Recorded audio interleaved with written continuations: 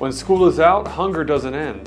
The primary goal of the SAUSD Summer Meals Program is to address food insecurity. Anyone ages 1 to 18 can visit one of our locations and receive a breakfast and lunch at no cost. Sometimes if I, if I don't eat, my stomach hurts and that distracts me from paying attention during class. I feel like if I, if I go into class with a full stomach, it'll make me focus a lot more.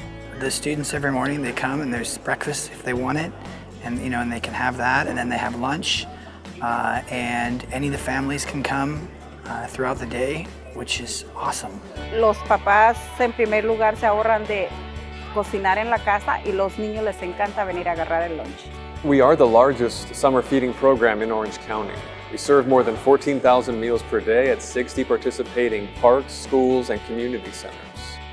We offer fresh menu items that are prepared in-house. Our central kitchen and all high schools are producing meals from scratch. We consider many factors when planning our menus, such as what fruits and vegetables are in season, and what's great is we have access to a variety of locally grown produce.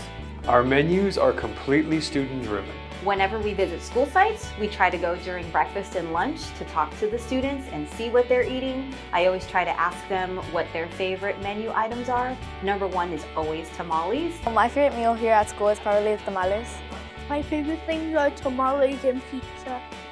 As a student, it makes me feel like the district is listening to the students and we do have a say in it.